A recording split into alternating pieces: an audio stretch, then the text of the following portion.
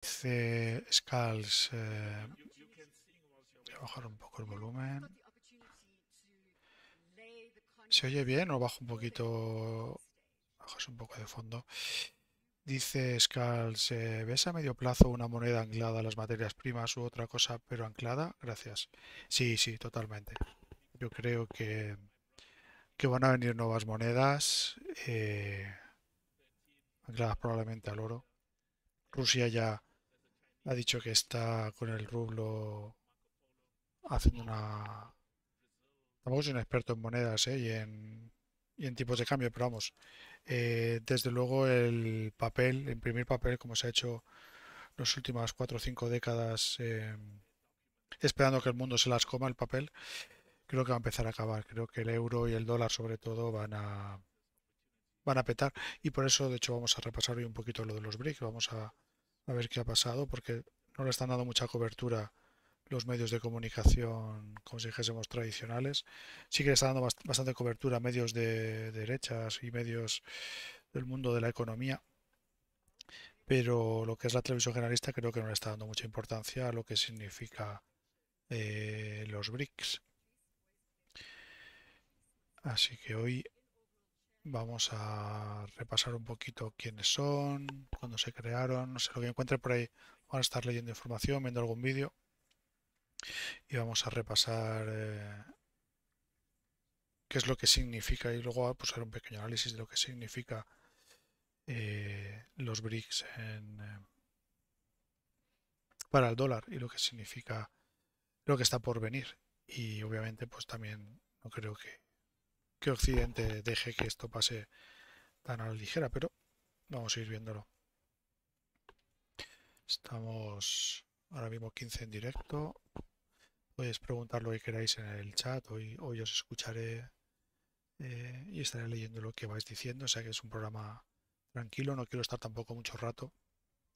No sé si me, me está yendo bien o estoy hablando muy flojo. No tengo ganas de gritar porque si no, luego se me acaba la voz rápido. Como siempre estoy un poco cansado. Y... Nada. Bienvenidos a Colapso TV episodio 37. Hoy hablamos de los BRICS. Vamos a empezar por una definición de la Wikipedia de lo que son los BRICS. Luego nos ponemos con las noticias que han salido y, la cumbre que tengo puesta de fondo, que es un vídeo de televisión española que, ha estado cubriendo la rueda de prensa de los BRICS y tal, y bueno, pues creo que es interesante tenerlo por ahí. Eh, a ver, dicen los BRICS o bloque BRICS, anteriormente BRICS, es una asociación y grupo económico, político y social formado por Brasil, Rusia, India, China y Sudáfrica. Se incorporarán a partir del 1 de enero de 2024 Argentina, Egipto, Irán, Emiratos Árabes Unidos, Arabia Saudita y Etiopía. Como se anunció en el congreso que tenéis de fondo de este mes. Voy a quitar el, audio porque me molesta a mí. Fuera audio.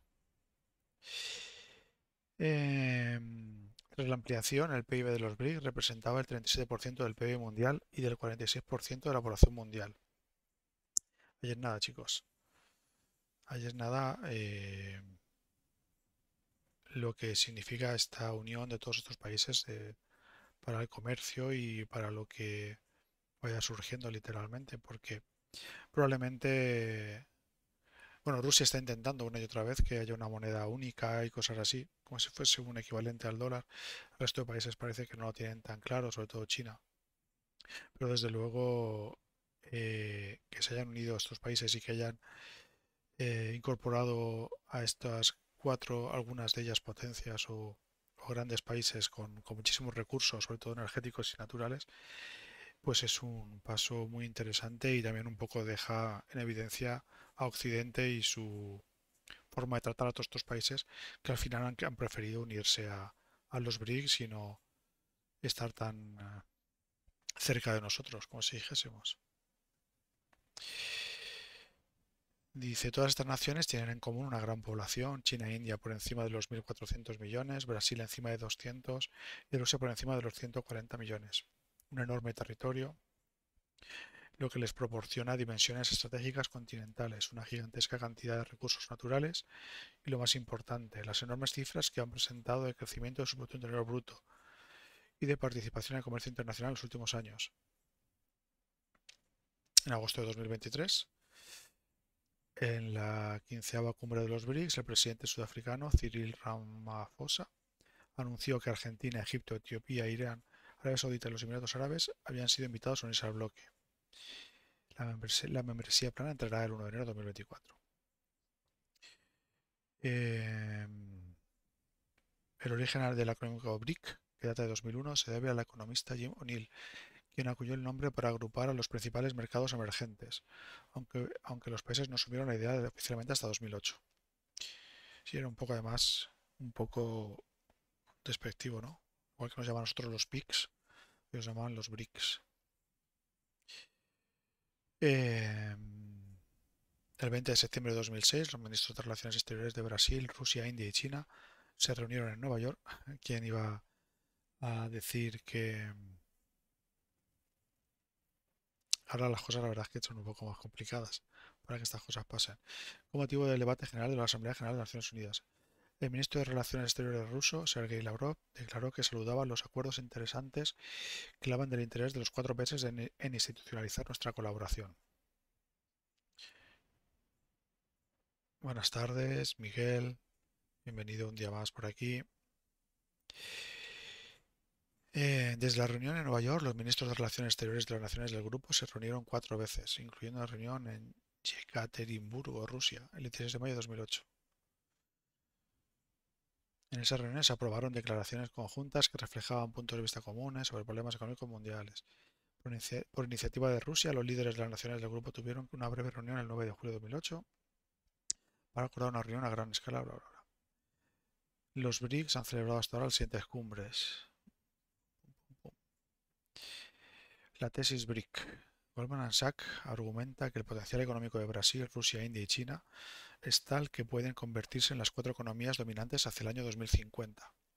La tesis fue, la tesis fue propuesta por Jim O'Neill, otra vez, economista de Global Sachs, de Goldman Sachs, quien escribió un ensayo titulado Building Better Global Economics BRICS, construyendo mejores ladrillos económicos globales, haciendo un juego de palabras entre el acrónimo, como, decía yo antes, lo de BRICS, igual que nosotros llamaron los PICs, eh, a Portugal, Grecia, España, etcétera y vocablo inglés BRIC, que significa ladrillo. Este término fue acogido rápidamente por analistas y académicos internacionales por resumir un concepto oportuno, el de los países muy poblados con una economía ascendente, y en Occidente, como siempre, poniendo nombre a, a los demás.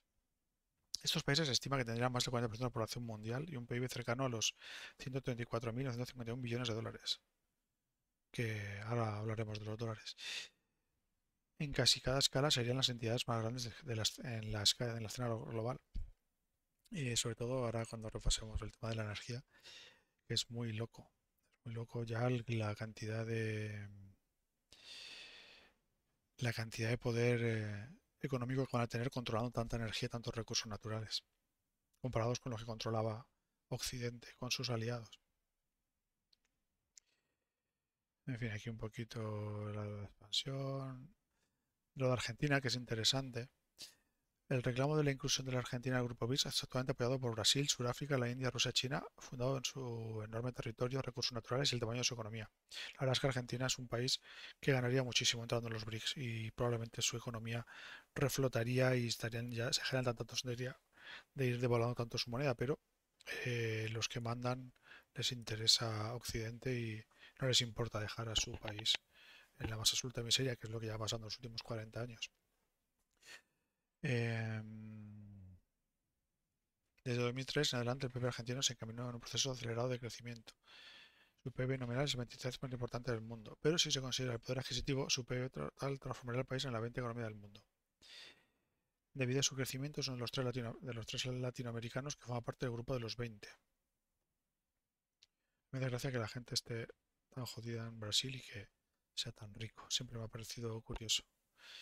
Argentina es uno de los países más e- extenso, poblado, industrializado y rico en base al PIB de América Latina. Y es aquí donde empieza lo interesante, ¿no? Los, recursos de- de Argentina. Dice, es uno de los mayores exportadores de carne en el mundo. Su producción se ha reconocido numerosas veces como la de la mejor calidad. Es el primer productor mundial de girasol, hierba mate, limones, peras y aceite de soja. Segundo en miel y manzanas. El más grande productor de trigo en Latinoamérica. Es el mayor productor de vino en América Latina, quinto en el mundo y el principal productor de biodiesel a nivel global. Eso también es importante. Que Argentina se una a los BRICS y se une porque no sé, creo que hay elecciones ahora a finales de año y no sé si van a querer o no. Pero daos cuenta del potencial para los BRICS, para el comercio de los BRICS con Argentina. Los yacimientos mineros del Aguilar en la provincia de Jujuy son la mayor concentración de minerales de plomo y zinc de Sudamérica y el ba- Bajo de Alumbrera en la provincia de Catamarca es uno de los yacimientos para, para la extracción más grande de oro y cobre en América Latina. De ahí, bueno, Argentina, el país de la plata. Siendo la Argentina el decimotercer mayor productor de oro del mundo. Argentina es el más importante productor de software de Latinoamérica, eso no lo sabía. Y ocupa el segundo puesto en Sudamérica en cuanto a la fabricación de autopartes. Bueno, eso sí no lo sabía, pero era más que probable después de Brasil. Es el mayor productor de soja del planeta. También súper importante para la economía mundial, junto a Brasil y Estados Unidos. Muy interesante. En fin, sería muy interesante que, bueno, muy interesante para ellos, a mí realmente me da igual, pero para los argentinos sería muy interesante que esto saliese adelante, pero quién sabe. En fin, habl- hablar de Argentina porque como es uno de los países que no lo tiene claro, aunque creo que oficialmente está ya a punto de entrar, pero no lo sé. Bueno, vamos a, a ver unos cuantos vídeos que estoy viendo esta, estos días. Voy a poner algún articulito. A ver si habéis dicho alguna cosa. No. He estado viendo un vídeo que es, triste que tenga que ser em, un medio económico el que nos dé estas noticias y no eh, cualquier eh, periódico normal, pero los periódicos normales están entretenidos con otras historias, que es lo que, es lo que importa. A ver. Es un vídeo de eh, a ver. Es un vídeo de un minuto de del canal Negocios TV. Y como digo, me parece curioso que tenga que ser Negocios TV el que nos explique lo que está pasando y no y no Televisión Española, por ejemplo. Eh, a ver, vamos a ver, está todo correcto. Vamos al play, lo vemos juntos. Y pasamos a hablar de los BRICS, de un nuevo golpe encima de la mesa de los BRICS. Y es que la nueva composición que van a tener a partir de ahora con los nuevos Estados miembros, los nuevos seis integrantes que van a empezar a formar parte del bloque, van a hacer que controle, ojo, el 80% de la producción mundial de petróleo, cuatro quintas partes de la producción mundial de petróleo. De esta forma, como les digo, al agregar, por ejemplo, Arabia Saudí, a los Emiratos Árabes Unidos o a Irán a los BRICS, la Unión va a poder controlar la mayor parte de la producción mundial de petróleo. De los 23 países aspirantes en el eventual proceso de ampliación de expansión de los BRICS, siete de ellos pertenecen precisamente a la Organización de Países Exportadores de Petróleo, la famosa OPEP, que abastece un porcentaje fundamental del mercado mundial. Un escenario en el que, si se agrupan, tienen el 77% de las reservas de petróleo de todo el mundo. El ingreso de estas naciones de la OPEP al grupo de los BRICS también va a garantizar el manejo del 83% de las reservas probadas probadas de petróleo de todo el mundo, sin mencionar las reservas probadas de los países no OPEP y OPEP Plus. En lo que respecta también a las reservas mundiales de gas, también hay que tener en cuenta que de estos 23 países aspirantes a los BRICS, 7 de ellos pertenecen al Foro de Países Exportadores de Gas, incluida Rusia, un foro que maneja el 72% de las reservas de gas de todo el mundo y además abastece el 44% del mercado mundial. Si nos fijamos también en el PIB, se puede aplicar también este repentino crecimiento del PIB de los nuevos países BRICS, va a suponer el 30% del PIB mundial y va a superar los 30 billones de dólares. Una auténtica barbaridad la influencia de los BRICS que ahora se acrecienta, se engrandece aún más con esta entrada de seis nuevos miembros.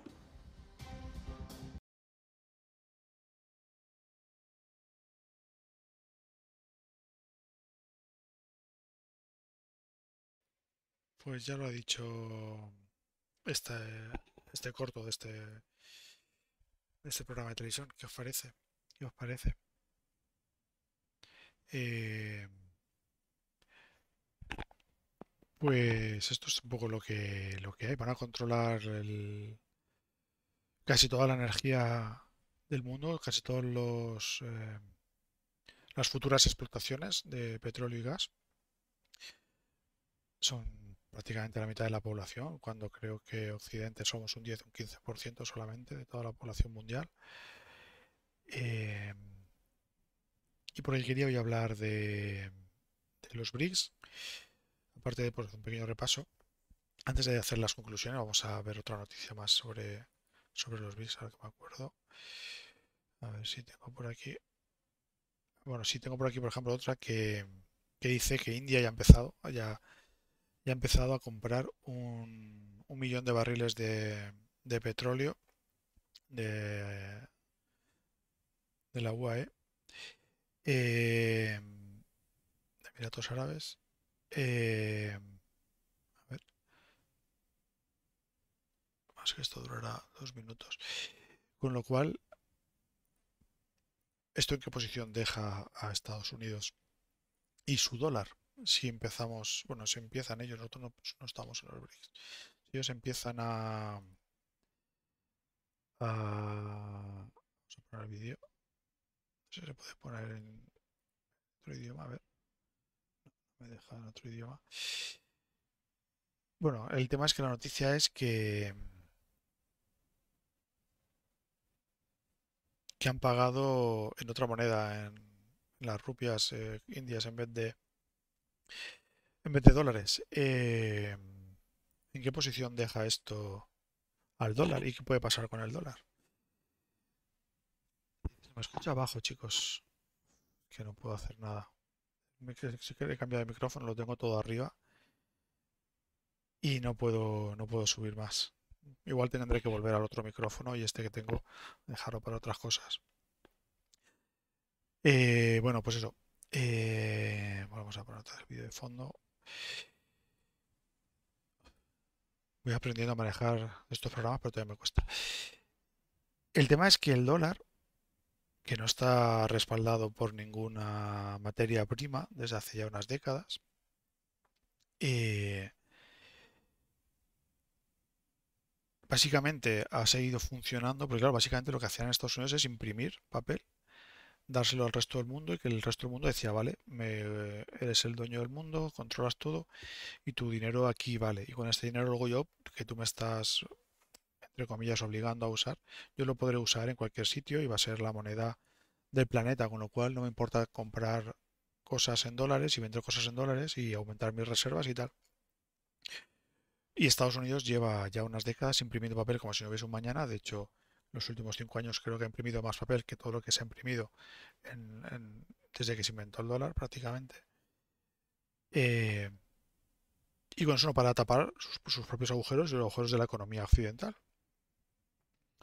Lo que pasa es que, como digo en mi artículo, recomiendo un artículo de bueno, uno de mis libros, que está el artículo de, del juego del Monopoly y una mujer asombrosa o algo así, donde explico un poco el valor del dinero que no está respaldado por nada. Y, y claro, ¿en qué posición se va a quedar el dólar en el mundo si la gente ya no lo utiliza para comprar carne, comprar materias primas y sobre todo energía. Esto es una cosa que obviamente ya mucho tiempo mucha gente preguntando, solo no es que haya yo venido aquí a iluminaros, pero creo, y por eso he hecho este pequeño especial hoy de los BRICS, creo que es importante recordarlo, porque estos pasos que están haciendo los BRICS están dejando completamente fuera del control del dólar eh, la producción de las materias primas mundiales, más de la mitad de casi todo, y un 80% del petróleo y el gas. ¿Y qué pasará en el futuro, en la economía, en las economías occidentales, sobre todo Estados Unidos, si todo este papel que han impreso, que ya nadie, lo quiere, ese papel de monopolio de repente se convierte en, lo mismo que si lo imprimes tú en casa y lo usas para, para intentar convencer a alguien de que te venda algo? O como hace mucha gente que se inventa criptomonedas para luego vendérselas a alguien y luego irse y desaparecer, pues es un poco lo que va a pasar. Esto de los que, que va a continuar a partir de 2014, 2024 va a hacer que el dólar empiece a valer menos y, ir esperando cosas raras en el mundo. Primero, como dice Sonia, que acaba de decir, dice es una moneda respaldada por el ejército más agresivo, del planeta, exactamente. Lo que pasa es que los ejércitos más agresivos del planeta necesitan energía. Y eso es lo que están perdiendo el control. estos países que están uniéndose ahora a los BRICS son los que proveían de energía a esos tanques y a esos aviones. ¿Y en qué, en qué papel o en qué posición se queda un, eh, un país cuyo dominio sobre el resto era controlando la energía, que se utilizase su moneda como moneda de cambio para el comercio de esta energía y que mantenía también el poder eh, por la fuerza utilizando todo tipo de estrategias que todos ya conocemos. no es nada secreto, incluso propio, incluso los países occidentales, no solamente Estados Unidos. Pues esto inevitablemente va a acabar muy mal para, para el dólar. Y la única forma por ahora de mantener, o sea, a largo plazo hay que entender que probablemente eh, las monedas que utilizamos en Occidente pierdan muchísimo valor. Algo parecido a lo que, lo que ha pasado tantas veces en Argentina. Por otro lado, también te digo que Occidente, también os digo que Occidente no se va a quedar de brazos cruzados. Es decir, mmm, sabéis que estoy hablando mucho en mi Twitter sobre Níger y sobre lo que está pasando ahí y sobre la guerra ucraniana hablo mucho, pero Occidente está intentando controlar el asunto. Y obviamente esta evolución o este cambio de que BRICS lo dice mucho en las conferencias los BRICS lo dicen mucho. Este cambio de orientación de los ejes geopolíticos mundiales eh, no van a ser eh, aceptados por una de las partes y de forma pacífica. Creo que que vienen años complicados donde en Occidente empezaremos a empobrecernos muchísimo y donde en otros países pues empobrecerán también porque el tema de la energía tampoco es mágico. Eso hay que tenerlo en cuenta también. O sea, el pico del petróleo afecta a todos, pero independientemente de que el pico del petróleo afecte a todos, quien controla el 80% de lo que vaya quedando, pues obviamente tendrá cierta ventaja. Y tiene la pinta de que no somos ya Occidente. Así que las predicciones de Felipe Moreno asterisco, pues ese es el tema. Probablemente las monedas en la próxima, los próximos, siempre digo en la próxima década y luego siempre resulta que es en el próximo lustro. Pero en la próxima década o probablemente el próximo lustro, eh, todo va a costar muchísimo más, La inflación va a seguir eh, persiguiéndonos, porque no es una inflación como una inflación las que hemos tenido hasta ahora de ciclos económicos, sino es una inflación de la evaluación de la moneda respecto al coste de la energía y las materias primas. Y me temo que esto que parece que ha pasado bastante desapercibido para Occidente o, para España o para nuestros medios de comunicación puede ser eh, el último clavo en nuestro ataúd eh, energético, tecnológico, comercial y que puede poner en riesgo la, hegemonía de, Occidente y las monedas que utilizamos. ¿Es bueno o es malo? Pues luego también depende de lo inteligente que seamos nosotros. Obviamente nosotros no estamos eligiendo los BRICS, estamos eligiendo nuestros propios asuntos. Occidente, como digo, por un lado está el tema de los BRICS, por otro está la guerra ucrania por otro lado está esta posible guerra en Níger después del golpe de Estado. Porque todo esto tiene que ver con los intereses de Occidente del control de los recursos y del futuro de las economías occidentales respecto a las emergentes. Y bueno, esto es un poquito lo que quería comentaros hoy. Básicamente, eh, para que os deis cuenta de lo importante que es este acuerdo de los BRICS. Ya hablamos en el directo anterior sobre Níger y sobre lo importante que también es Níger para el tema de la geopolítica. La verdad es que no he hablado, nunca he hecho un directo de vídeo sobre sobre Ucrania, aunque tengo un artículo en el blog en feliporeno.com que podéis leer sobre, sobre la guerra de Ucrania que hice nada más empezar la guerra y explicando los motivos que yo veía eh, para que Europa insistiese tanto en, en apoyar esta guerra. Y, y nada más, chicos. Tampoco quiero hacer un directo más largo. Eh, si queréis comentar alguna cosa en los comentarios, si no, eh, dejaré este vídeo como siempre subido a YouTube. Recordaros como siempre que he publicado unos cuantos libros.